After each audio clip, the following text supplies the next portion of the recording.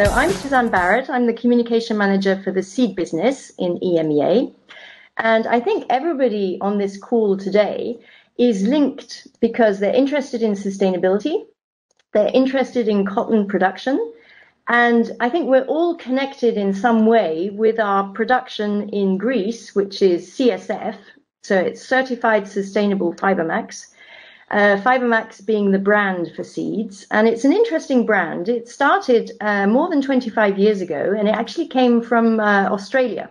The germplasm came from Australia, uh, went to America, Texas, of course, the big uh, cotton uh, um, shall we say, paradise in in America, and then came to Greece about 23 years ago. And it really is well known for the growers in Greece as premium cotton, um, very strong. The fibers are very, very strong. I mean, we were talking to a spinner this uh, this week who was extolling the purpose, the um, characteristics of Fibermax. It basically, uh, even because of the good quality, it actually reduces the waste uh, as you go up the value chain. So let's introduce our speakers today, and let's kick off with Professor Marcus Frank. Would you like to introduce yourself? Marcus, and tell us, you know, what is your connection with CSF, with BASF even? Over to you. Thanks, Susan. Um, where should I start? So I'm I'm a professor for what we call crop health management. So, so uh, let's say the blend of sustainability, phytomedicine, and digitalization at a small ag school in the southwest area of Germany, in the Stuttgart area in particular. So my research interest is sustainability assessment to some extent, and that's also the reason why I, I, feel sort of connected to CSF or BCI or cotton production itself. I'm not a cotton man. I'm based in Germany. We don't grow so much cotton.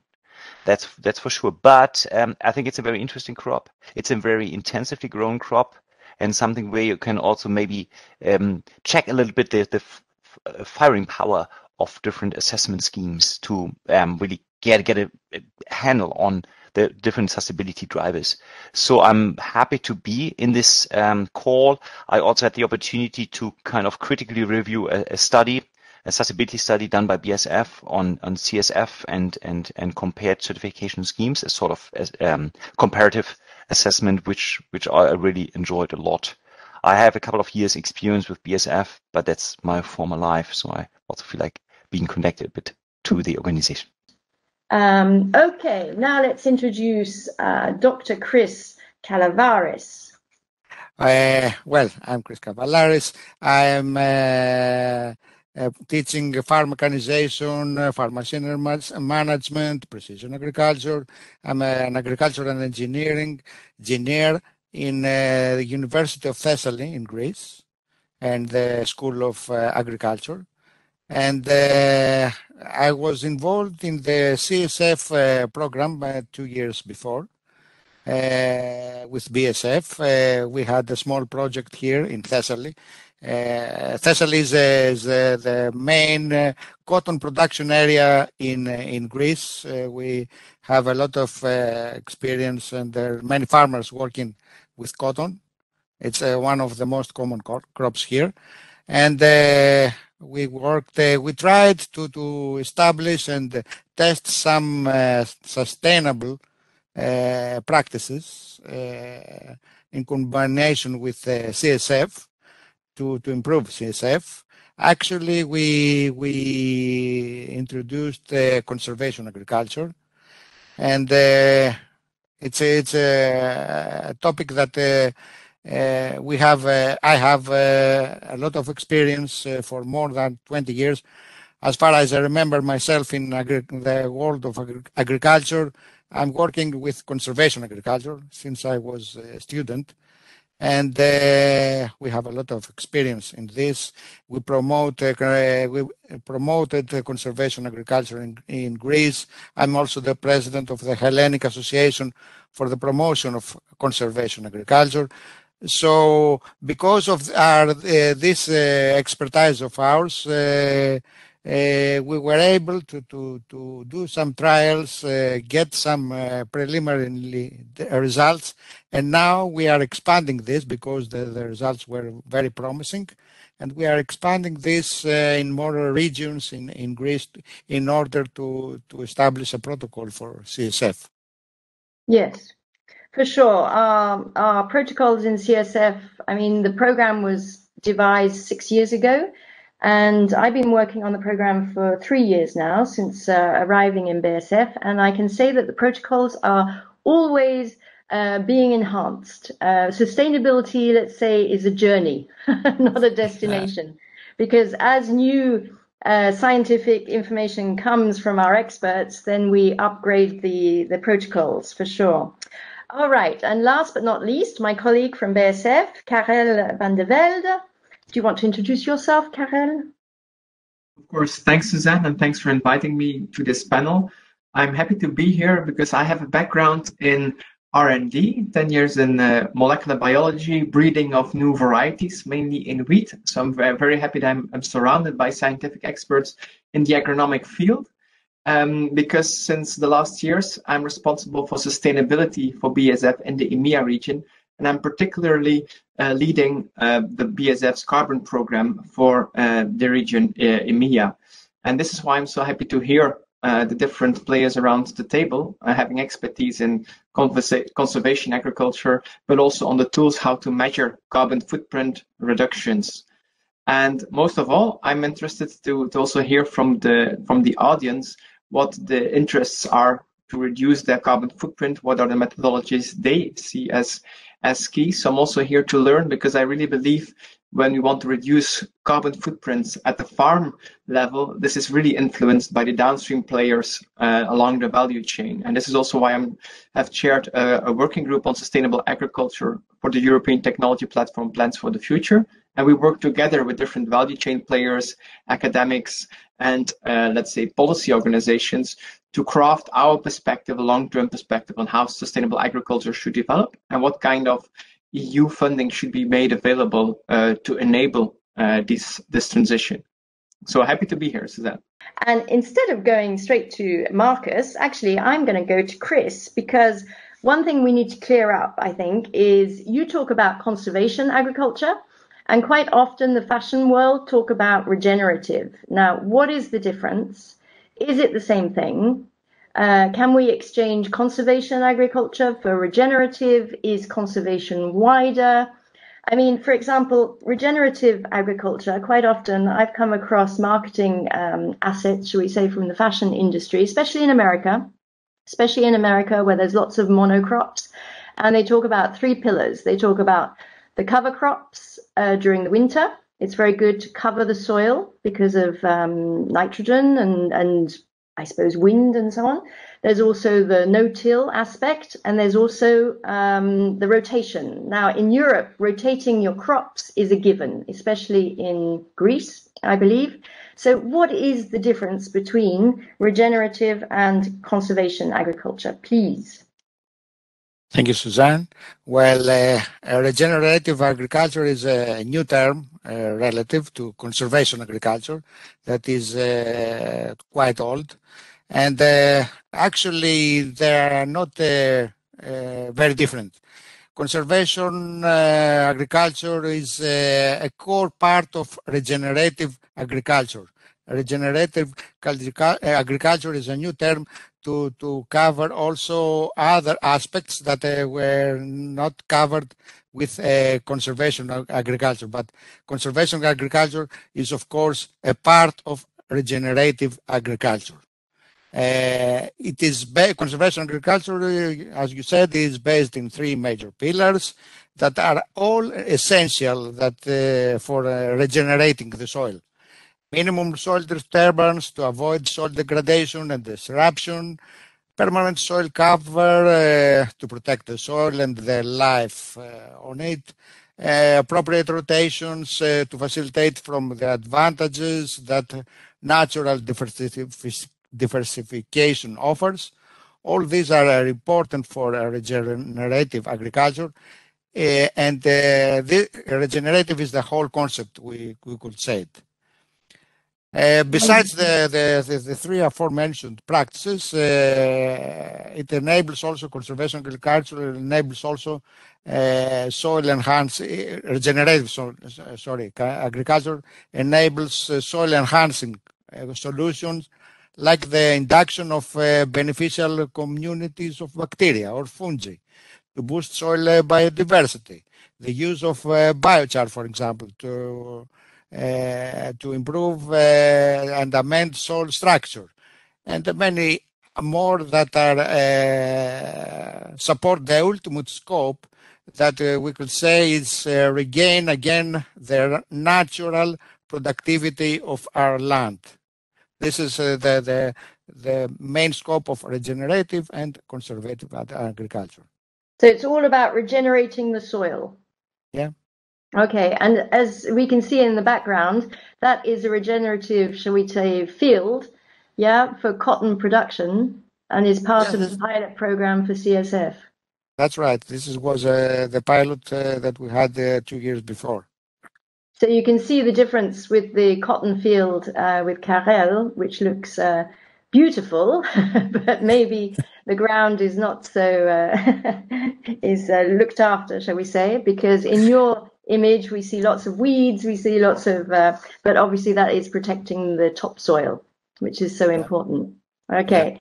So Marcus, can you clarify for us how can a cotton production be called sustainable?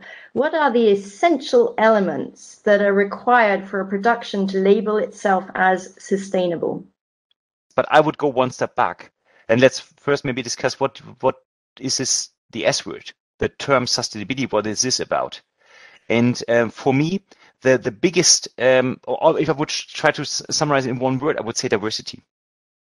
If I have like three other attributes to it, I would say it's radically inclusive, which means we, we really look into all the different um, um, concepts of the agro ecosystem. So we don't consider yield as the goal, of our optimization effort, but we con con consider and reconsider the entire agro ecosystem.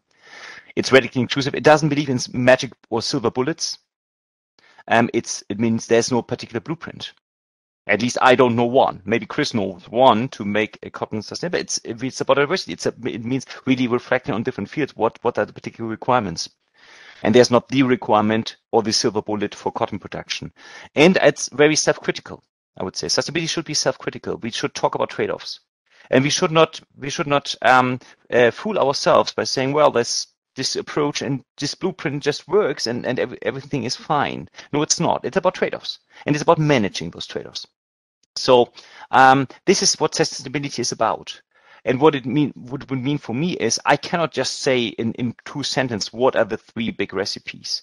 A lot of the aspects that that um, have been mentioned by Chris make a lot of sense. I mean, there's no doubt about it. Although, of course, we have to have in mind that some of them might come up with trade-offs. To have a bit more weeds on the field, to, for example, don't um, uh, turn the soil around might also lead to weed problems, which means we have to use some non-selective herbicides, which for others might be a, a big problem from their sustainability perspective.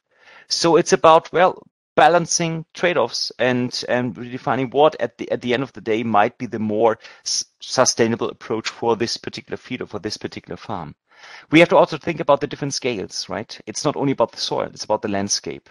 As we know that a lot of the influences, really, um, uh, or the role the, the sustainability role of this particular cotton field that Chris has in his background basically have to be reflected on the concept of my particular background, which is a very diverse agri- agricultural landscape.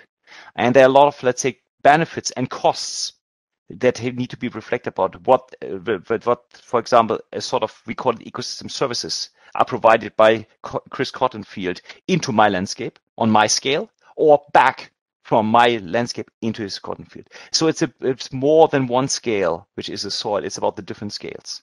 And then, I mean, it's again, carrying codes to Newcastle. It's about three dimensions, right? and and of course it's it's the question for the for the farmer uh, in the first place just to think about for example the measures proposed by chris or my measures for example leading diversity to the landscape and then thinking about well what does it mean for my purse what does it is what does it mean for my contribution margin is it something i really can do and does the the market situation allow me, for example, to broaden my crop rotation, which I think is a bona fide concept for sustainability, no doubt about it. But what, what, what does the market tell me? Yeah. What does my purse tell me? No till, that's fine. But what is the wheat situation in my field? Can I really afford it? Or do I have to find something like in the middle? Just to till in the middle of what we call really conservation agriculture in strict sense. Um, and, and try to avoid using herbicides or the other way around. Do I really believe in no-till, but then I have to maybe go uh, uh, on with non-selective herbicides and stuff? Um, is really um, organic manure maybe an option for me. Do I have organic manure available or not? This can also enhance my soil and can play a lot of roles. But you, you see, I, I, dare to say there's no silver bullet approach, no particular blueprint, which is makes sense for all the different fields in all the different countries. It's more like an ad hoc analysis that you have to take care on um, on the field. And then what I really love about the concept sustainability, it's about a continuous improvement at the end. Mm. So wherever you are, whatever you believe in, you can, you can, and you should get more sustainable, a couple of percentage year after year. Um, and if you buy into CSF, if you buy, or if you buy into organic cotton production, if you buy into using non-selective herbicides, organic manure, you name it. But what we, what we should not absorb any growth from is just to move on on this from here to there and to there and to there and just to improve a couple of percentage every year. Thank you. That could explain why the subject is so diverse and so difficult to grasp for many people, and why there are so many different business models in sustainability as well as cotton production, that's for sure. So now introducing Karel. Um, as you illustrated, you're very passionate about the, the, topic of carbon farming. Can you give us um, some insights into what it is exactly and why should the fashion industry be interested in sequestering carbon in the soil for cotton, for example? But maybe you want to talk about wheat. no, I'm here for cotton, so I think my, okay. my, the, key, key answer related to what what carbon farming is. So many definitions are floating around, but in essence, it's about two different two aspects in parallel. Let's say Overall, we want to reduce the carbon footprint of the agronomic practices, what we do on the field year after year, season and after season, but we also want to take into account carbon sequestration in the soil. So capturing carbon through the plants in the soil is both part of what we call carbon farming. And the EU Commission even coins, in fact, carbon farming as a new green business model that enables farmers to adopt those conservation or regenerative practices on top of reducing their own carbon footprints while they were working on, on the on the land. Second question you asked Suzanne is okay, why would the textile industry, why would why would they care? And I think um, I looked this morning at the, the site of the science-based target initiatives. There you clearly see, in fact, that there are 2,811 companies who signed up for this initiative. And this is an initiative where value chain players commit to a certain carbon footprint reduction in the next years to achieve the Paris Agreement target of, of reducing our temperature with 1.5 degrees. The number of um, companies signing up there is huge. About more than half is headquartered in Europe, and around 100 of them are in fact active in the textile uh, agricultural value chain. So it's really clear that this industry is focusing on um, positioning brand uh, image, but also really committing to those reductions in carbon footprint um, as as explicit as possible. So this is why I'm assuming, but I'm happy to to to hear the questions from the audience that um, it really makes a lot of business sense to position your brand, your product in the sustainable space. What the what the challenge is, I think, is that the biggest proportion of the carbon footprint emissions of, for instance, let's say a, a, a certain textile product in the end uh, is is occurring at the primary farm at the farm level. So uh, when you read uh, when I read those reports, sustainability reports of textile players, uh, there's a lot of active um, things ongoing already in what we call scope one or two emissions. So we're under the control of of the the producer, let's say. But it's much more difficult to have, get a handle on what is happening on the farm. And I think this is where uh, we having this discussion here, being a biggest uh, portion of the emission on the one hand, but also the biggest solution I would see in reducing and especially capturing carbon uh, would bring this carbon farming world very perfectly fit to uh, the textile industry. Chris, you're working on your uh, carbon, on your regenerative um, pilot for CSF, and you're an expert in no-till. I think you've um, you've looked at the topic for more than 20 years, I believe. I mean, is it is it? Do you have conclusive evidence? Obviously, you're doing a second year in the pilot to get more data, but do you have a conclusive evidence that this is the way farmers should should go forward in cotton? Uh, yes, yes, Suzanne, because uh, uh, we we have found uh, out that uh, this is uh, how it works. it is a quite functioning approach, the, the, the no-till, and as far as I can imagine, farmers should uh, be regenerative, should uh, uh, should not consider the regeneration, which is uh, the, the big the big uh, picture, the whole concept.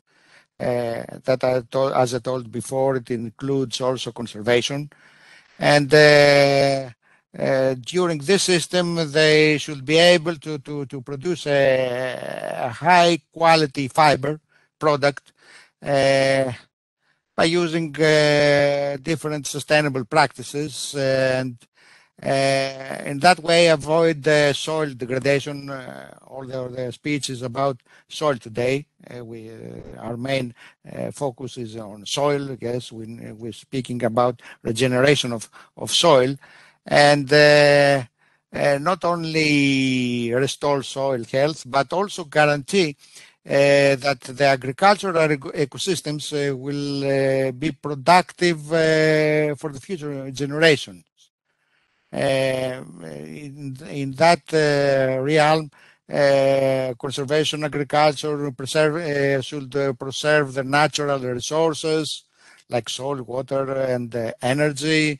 should preserve natural biodiversity, uh, ecosystem resilience to future threats. Uh, it should be farmer-centric, uh, a farmer-centric viable approach because farmers are, you they the, who are going to to uh, deploy this and uh, apply. We were talking. We were talking to a, a CSF farmer um, the other week, Vasilios, he was called, and uh, we were asking him if he was interested in regenerative agriculture just to see, you know, how how much training there is to be to be done and so on. And he was saying that he would have to invest in a direct seed machine, which um, which Marcus brought up. You know, it's all economics. It's all about the cost. You have to look at everything. Um, is that the case? I mean, can they get round the issue of having always to invest in new machinery?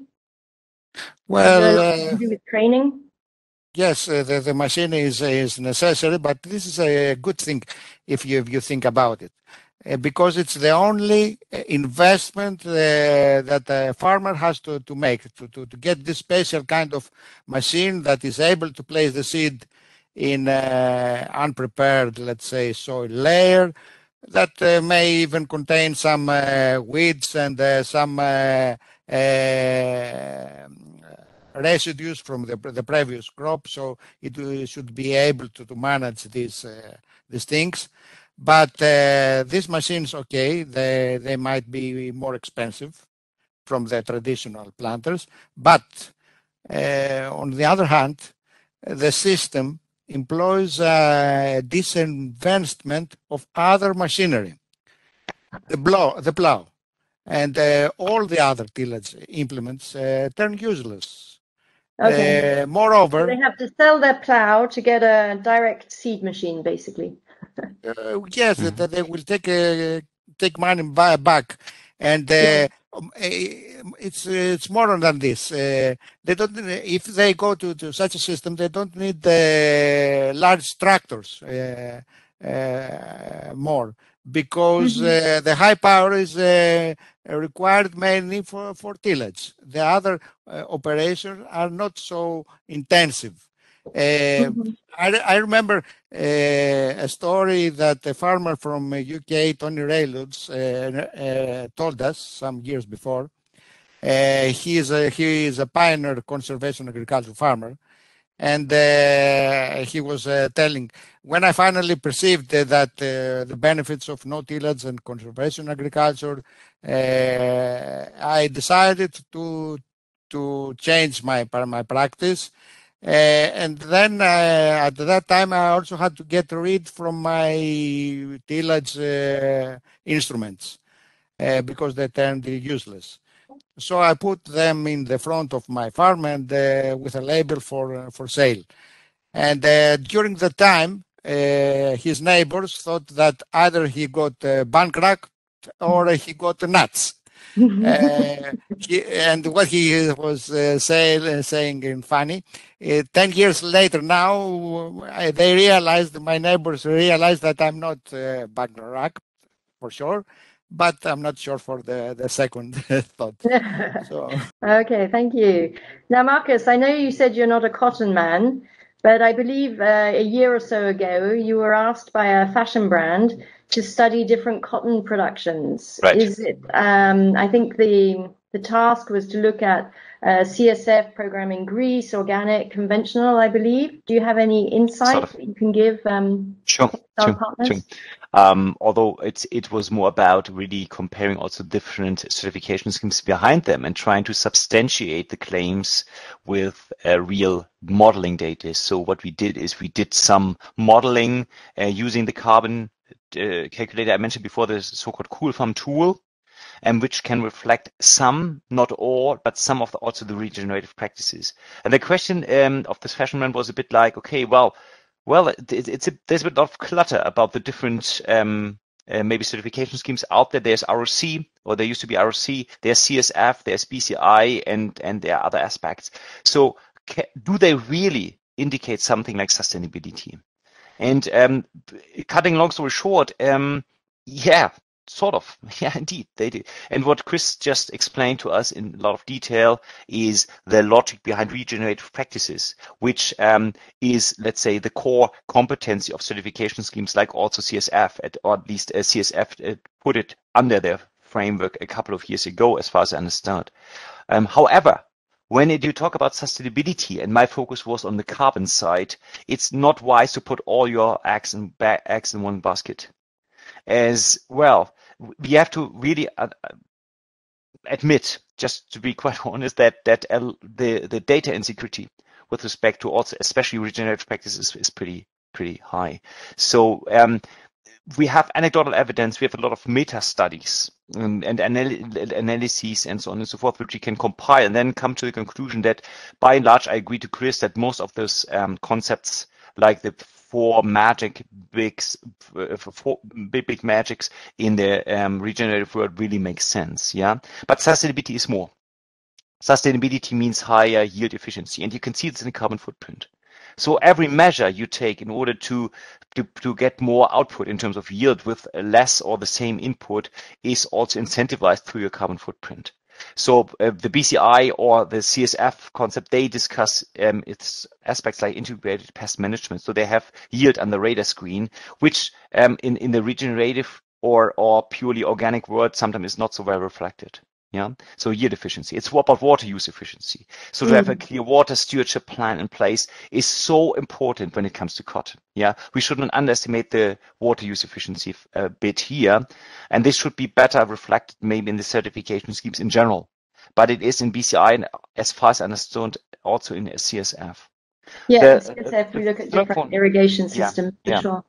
The third one is really about biodiversity. And that's that's a really a, a, big thing, and it's really complex, and it's highly intertwined with all the different aspects, like regenerative um, uh, strategies. As well, we, um, soil means biodiversity at the end. Yeah, it's it's about humus, it's about also soil biology, which is a big driver of sustainability. With when it comes to biodiversity management plans, where CSF also has this included, it's pretty vague but it, at least it's included and reflected. And then the fourth big pillar is really regenerative practices, like the ones mentioned. Yeah, and it's it's not about only cover cropping and and no-till and uh, maybe also mulching a little bit. It's also about manure and compost applications. So try to find ways for that. And then my favorite topic, But what about uh, the landscapes um, elements available, like windbreaks, shelter belts, and stuff like that, hedges? Um, there's something you can do, beetle banks, even flowering areas, and that's something a farmer shouldn't be absorbed from for look into. Even this is maybe not the core competency of the existing um, frameworks, certification frameworks out there. I think there should be placed more effort, more emphasis on the aspect of the landscape and the, the interference of the landscape with the plot and what's going on there. Cutting long story short, there's also the certification side. I think there's no silver bullet, and I I think it's wise just to think a bit more broad um, on the broader side. Is organic better than conventional? It depends. It can, but but there's it's essentially that that's not always the case. You have to do the analyses ad hoc, and if you don't have weed problems, if you have a very good soil which allows you to to uh, produce even without a lot of the inputs that you are, you must not use an organic scheme because it's so restrictive, you can produce high yields and there's no problem with that. Um, but there's it's it's not let's say the silver bullet again. It's not the silver bullet towards higher sustainability. In the uh, analysis in the modeling that I did, and I have to admit here that the database was pretty uh, pretty narrow. It was just a handful of CSF growers. Um, but looking at them and uh, extrapolating from their experience to the to the concept itself, we found an advantage of the CSF growers indeed. I dare to say that that uh, to, and to some extent that's reflected through the adoption of regenerative practices. Although I have to also say they are a bit over, the impact is overestimated in the tool that I used um, as, as I'm part of the architects of the tool, I can tell that, yeah. but nevertheless, they really make sense, um, and and and uh, it, it, it's it's worthwhile to pursue them. But we should not forget about the yield efficiency. So getting the um, the, the the biggest output with with the least input, as on the especially on the side of nitrogen mentioned before, water, and else and other aspects, that's highly important. Yeah, it's all about doing more with less. Yeah, more with less. At, at, the end of the day, it is. It, it seems mm-hmm. to be like like a, a glibbery statement. Yeah, right. To always say that. Yeah, but at the end of it, it is is and regenerative doesn't necessarily getting more out. It yeah. means get uh, getting maybe less input, and that can work out quite well. But if you have especially problem with uh, weeds, it can also backfire, just to be honest. Mm. So I would think broader. And I think this uh, concept like BCI, CSF, and others, they are inc- radically inclusive, which I really like about them. They're inclusive just to, to, to, let's say, digest all the different concepts which are important. Biodiversity, nitrogen management, uh, water uh, use efficiency, yield use, yield efficiency without being too restrictive by saying you must not do this and must not do that. Um, mm-hmm. that I, I think there's a, at least a high chance that growers pursuing those certification schemes turn out to be more sustainable at the end of the day. And for sure, the advantage with CSF is, I guess, it starts with the seed. So we have high yielding seeds to start with before we even got them in the ground. So that does help. Um, the more we work on the germplasm, the more we work on characteristics that will help protect that yield. You start from a pole position, if you if you allow me this this uh, paradigm. Um, you start from a pole position, that's good, but you have to have good farmers making good use of the agro ecosystem in order just to to get them um, in, in, into into the finish line. I mean that yep, you can do a lot of wrong stuff with good germplasm. Okay. So it's, so I think so but, training, but, again um, in, in CSF you ask a lot of good questions. Uh, how I use my agro ecosystem, and I, I can only encourage certifiers, and I can only encourage brand owners just to think broad think broadly when it comes to how do I think sustainability can materialize uh, on the fields of my different growers. And don't forget about that different growers have different starting points. Not all start at the poor position. Not everybody has fantastic soil. Um, they, they have to manage through and they might have to muddle through. We have to not, not forget about that, that they start from a different position. So we have to incentivize them making steps. And for some growers, it means smaller steps than for others. That's for sure. Mm-hmm. And I would love to see, from a purely scientific perspective, certification schemes incentivizing the effort taking, not only the outcome. So, Karel, can you give us more information about the global carbon farming so we get a sort of a big viewpoint? I know BASF is involved in it. And okay, the program is maybe more centered on food crops than cotton, but how will the potential results mitigate climate change? Because that's something that everybody is talking about, and I think everybody has some sort of understanding of climate change and and so on. Can you give us a link between the car the global carbon farming program? So, so BASF's carbon program is in fact aiming to reduce the carbon footprint of farmers, right? And doing that in two ways. On the one hand, by offering products that help farmers to reduce their footprint. It could have been FiberMax seeds, for instance, but especially also accompanied with that advice on the economic practices that need to be taken to do that. Marcus coined it very well by saying, okay, you have to find the right balance, not only on carbon, but also water, water use efficiency, uh, biodiversity, and all these different uh, economic practices have to be found in balance.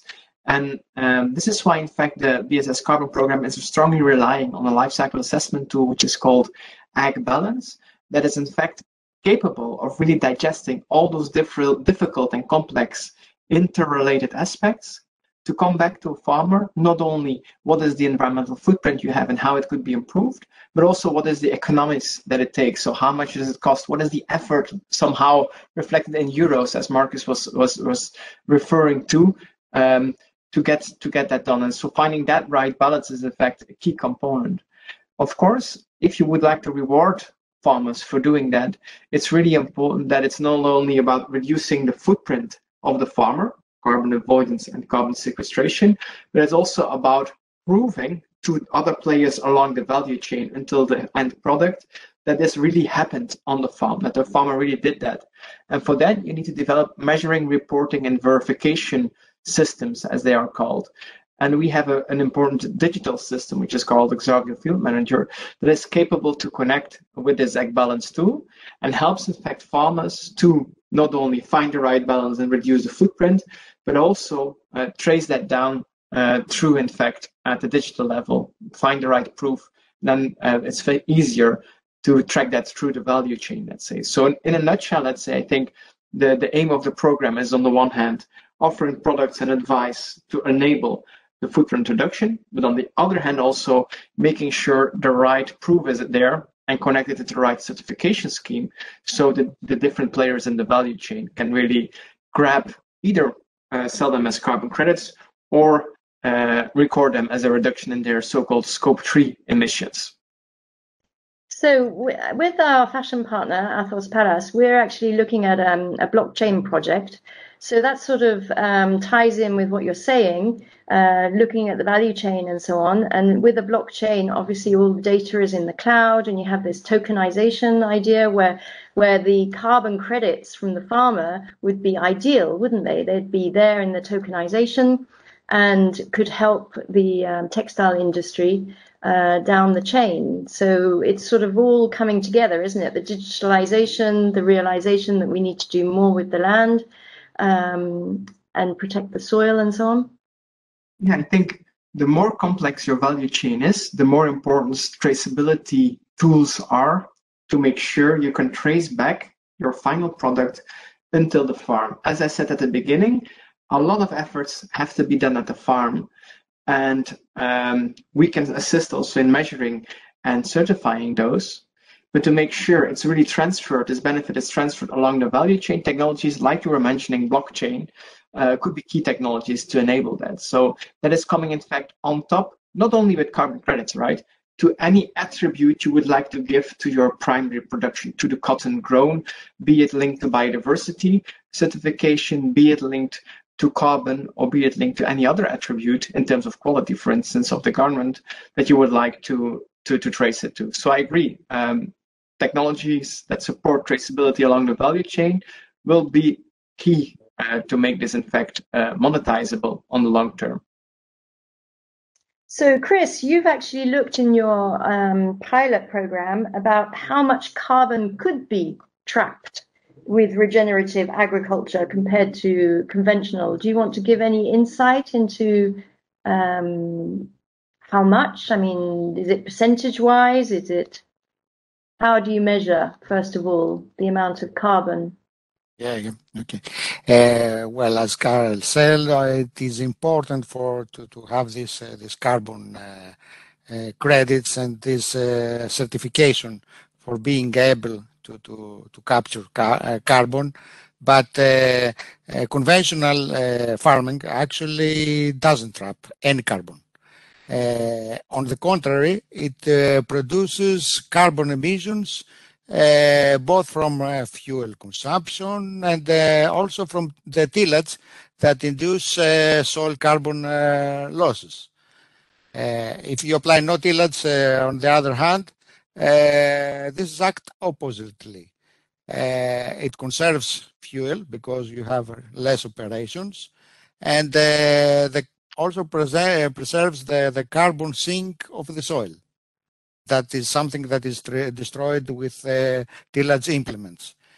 Uh, any capture, carbon captured uh, by the crops, either above ground or underground, remains in or returns in the soil with with the no-till and the conservation tillage system. Uh, we had some assessments in uh, our experiments uh, in the pilot that we have uh, two years before. And uh, we found that uh, with the conservative system, we were able to provide 80%, 18% reduction in direct greenhouse gases emissions from conserving fuel energy. Uh, the benefits from uh, carbon sequestration into, the soil, however, it is uh, more difficult to access in in a short term, like the one year that we had. And this is why this year we are going to to follow also a carbon modeling approach in collaboration of, with the University of Milan we were talking with a professor uh, a couple of days before, and uh, we are going to, to integrate and uh, collaborate to, to, to see what's happening and how uh, much carbon can be captured in the soil. Under the Greek uh, climate conditions, it is possible to trap over uh, 800 kilograms per, of carbon per hectare and per year and uh, that uh, corresponds to almost three tons of uh, equivalent CO2 emissions. Mm. To, to, to, understand how important it is, there is a study from the European Conservation Agriculture Federation that reveals that for every hectare that is converted to conservation agriculture in Europe, uh, the emissions of a return flight from London to Athens are removed from, from the atmosphere. So we're we've we've come to the time in the webinar where it's the fun round. Okay, so I have a fun question to ask our three um, speakers. So Marcus, if you had three wishes for agriculture, and obviously it's going to be sustainable agriculture because we know that's your passion, what would they be? Difficult one. Is, uh, it, is it another million dollar question? yes, sort of. You're going to be, sort you're going to be not really. I, I, I'm a very humble. Suzanne, I'm very humble. So first one is honesty. What I mean ah. with this, honesty about trade-offs.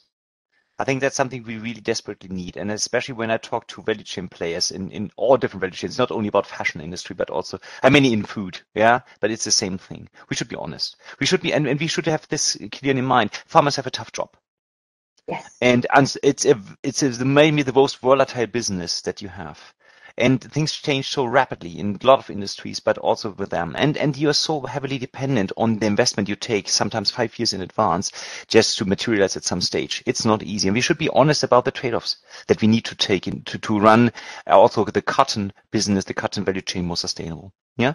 Um, especially on the side of the farms, but also, of course, on your side when it comes to the value chain and it's about honesty uh, also that that it's necessary what we do. I mean there's no there's no alternative right? It's it's just we have to do that. I mean it transformation is going. And it's not but but fooling ourselves that we can continue like we maybe did in the 80s or 90s of the last century. That's not an option. We have to change because we we are exhausting the resources that we desperately need to grow our cotton. It's just a matter of time right?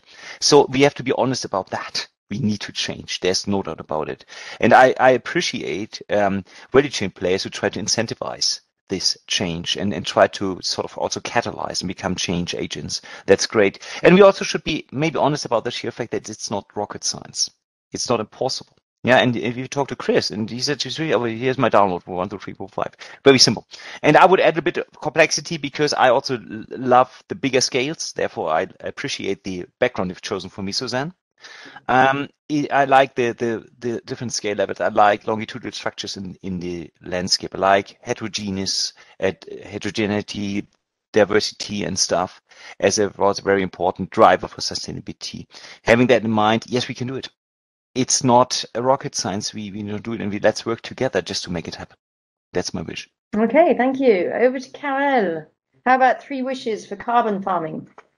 I think I'd like to build on what Marcus just was saying, and I think uh, my first wish would probably be open as much as possible open communication between the different value chain players to create that honesty and trust because I, I really think that this is a value chain um, effort to reduce the footprint of a final product. So having those value chain players strongly connected is key. And this is why I'm a bit disappointed there's so few questions in the in the Q&A comment because what I would like to really have is this open dialogue between the, the four of us sitting here together and also the, the participants here of this webinar uh, with whom we're connecting to make sure we are making the right assumptions here at the farm gate that, that are needed in a final shop, for instance. So I think open communication and clear interaction between players would be extremely valuable from my perspective.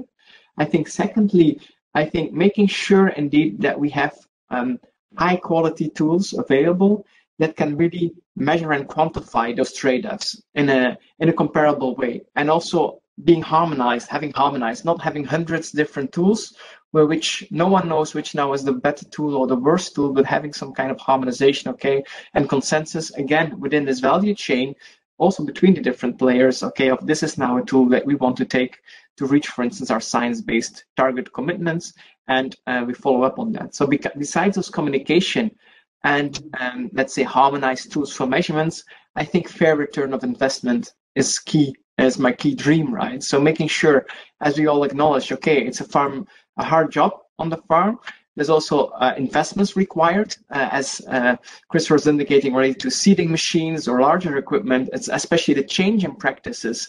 This transition is not so.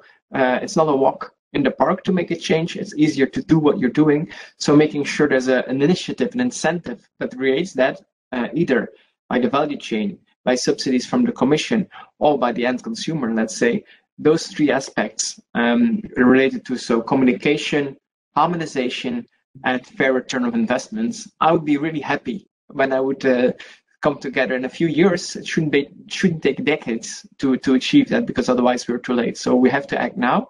And this seminar or webinar is a, a first good step in the right direction.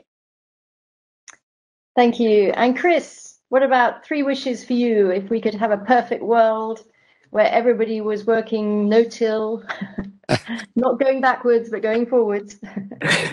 yes, I agree with Marcus uh, about honesty and uh, uh, that we communication, uh, honest communication between different parts to understand uh, what is important uh, for for each part and how can this be practiced and in order to to to to to have these things working, I think we have to to to have uh, young people also. Because uh, the young people the young far farmers are uh, the the future.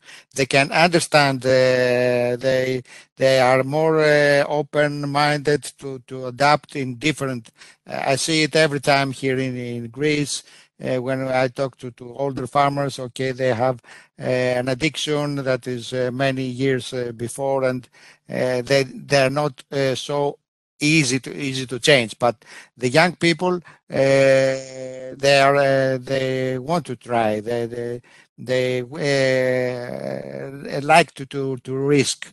But uh, unfortunately, in Greece uh, and also in Europe, we have a lot of uh, young people, farmers quitting uh, agriculture and uh, moving okay in other parts so my wish is uh, to, to to convince them and uh, give them incentives to, to to get back in the agriculture and in, in that case, they, they could grab the, the chance and capitalize over this, uh, these important issues of uh, sustainability because sustainability, all it's, uh, agriculture will going to be all about sustainability in the, in the, in the future.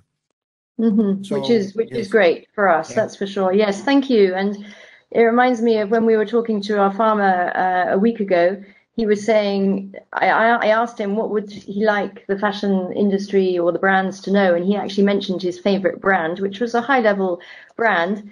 And um, he he said he wants them to know how hard it is to produce cotton and how they should really appreciate the raw fiber, basically, and the quality of, of, of the natural fiber. So I think we can all agree with that for sure.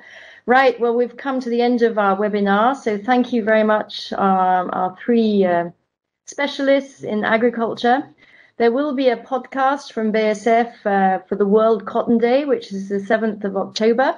You may know the series. It's called Science Behind Your Salad, and there will be one created um, about cotton, a global uh, podcast. So watch out for that in uh, your wherever you get your podcasts.